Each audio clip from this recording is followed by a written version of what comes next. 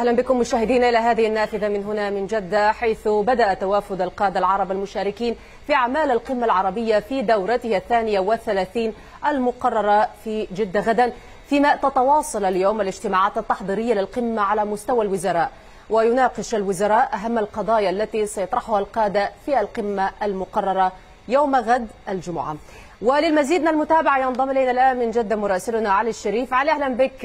معنا نتابع معك الأجواء الاستعدادات وماذا على أجندة اليوم مع بدء وصول القادة على مستوى القمة أو القادة من سيشاركون في هذه القمة يوم غد.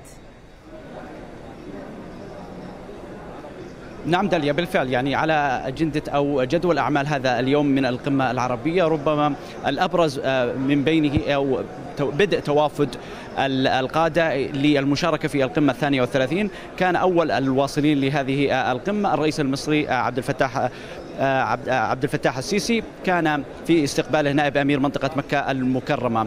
أيضا ربما حسب ما يدور في الأوساط الصحفية وأجندة وما سيكون على طاولة القادة يوم غد هو من بين هذه الملفات. الملف السوداني بشقي سواء الإنساني أو السياسي وهو يعتبر كملف ضاغط ومستعجل طرأ في هذه القمة. من ضمن أيضا الملفات القضية الفلسطينية والتداعيات الأخيرة التي حدثت في هذا الملف.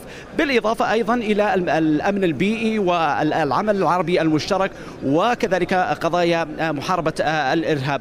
أيضا من ضمن هذه الملفات الملف اليمني. ربما يعني هو من هذه المستوى المسودة أو من هذه التسريبات التي ظهرت هي أبرز ما سيتم بحثه ومداولته يوم غد في القمة الشارع العربي يتطلع لقرارات مصيرية في هذا الجانب أيضا ملف الجانب التنموي والجانب العمل العربي المشترك هو أبرز ما يدور في هواجس الصحفيين هنا في.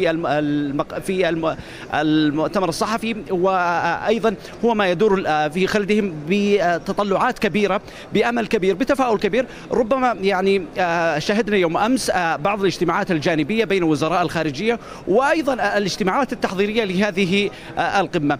متوقع في خلال الساعات القادمة توافد عدد من رؤساء رؤساء الدول للمشاركة في هذه القمة. نعم داليا.